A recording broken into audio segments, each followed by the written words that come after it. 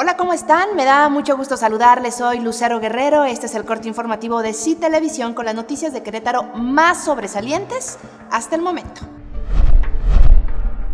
Al mediodía de este jueves, un sujeto asaltó la sucursal de Banamex que se ubica sobre Avenida Universidad. Hasta el momento se desconoce el monto de lo robado.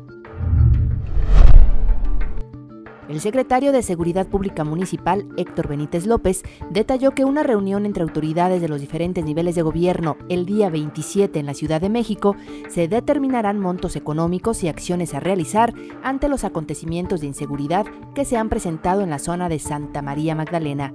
En tanto, dijo, se mantiene vigilancia permanente. A los ciudadanos de esta zona les hizo un llamado a que participen con la autoridad y denuncien. Aún hay pendientes en el sistema penitenciario de Querétaro, así lo aseguró el subsecretario de Gobierno Alfonso Jiménez Campos, quien dijo que ha sido satisfactorio cómo han ido mejorando en la evaluación que les realiza la Comisión Nacional de Derechos Humanos. La Procuraduría General de la República, a través de la Subprocuraduría de Control Regional, Procedimientos Penales y Amparo, destruyó una tonelada 523 kilos de videogramas y fonogramas asegurados en operativos realizados en Cadereyta de Montes. El municipio de Corregidora será sede de la reunión de expertos de ONU Habitat para generar políticas públicas en materia de ciudades de paz. Dicho evento se realizará del 23 al 25 de febrero y se espera la presencia de más de 40 personas de Europa, Asia, Sudamérica y África. Asimismo, por parte de dicha organización, el próximo 31 de marzo el presidente municipal Luis Antonio Zapata Guerrero estará viajando a Bogotá para presentar el programa de participación ciudadana que impulsa este ayuntamiento. Integrantes de Antorcha Campesina mantienen plantón frente a Palacio de Gobierno, en demanda de servicios en 24 colonias de la comunidad de La Negreta, municipio de Corregidora, así como por la carencia de títulos de propiedad de más de mil familias en esta misma zona del estado. Esto lo informó el dirigente antorchista de Santa Rosa Jauregui, Abraham Valencia Hernández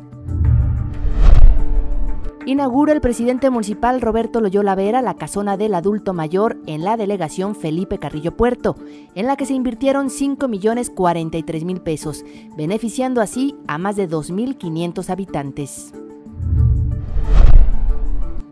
Con los trabajos de mantenimiento que se han llevado por parte del personal de la Comisión Estatal de Caminos a través del programa Caminos con Vida, se reporta que se ha superado la cantidad de 95 mil árboles de jacaranda plantados, los cuales se encuentran vivos y en desarrollo ubicados en el estado de Querétaro.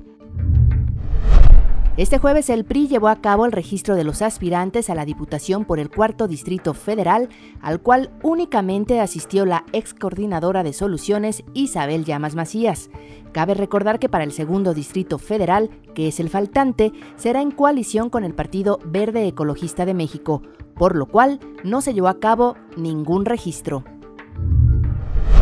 Miembros de la Asociación Nacional de Fiscalistas tendrán pérdidas del 20% en las ganancias por sus servicios, debido a que han tenido que comprar software y han contratado más personal por la aplicación de la contabilidad electrónica. Sin embargo, los precios de servicios siguen siendo los mismos. Esto lo señala Manuel Río Zúñiga, presidente de esa asociación.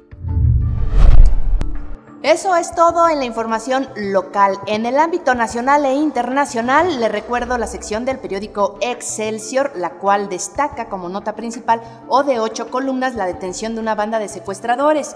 Cae banda de plagiarios en Arcelia Guerrero, tenían en cueva 23 secuestrados, entre las víctimas rescatadas por fuerzas federales hay siete mujeres menores de edad, algunas tenían 40 días en ese lugar. El detalle de esta información y mucho más en esta sección del periódico Excelsior, que la encuentra todos los días en el interior del periódico AM de Querétaro. Hasta aquí la información, me despido, lo invito a que nos siga a través de las redes sociales, Facebook, Twitter y por supuesto que esté muy al pendiente del próximo corte informativo. Cuídese mucho y hasta la próxima.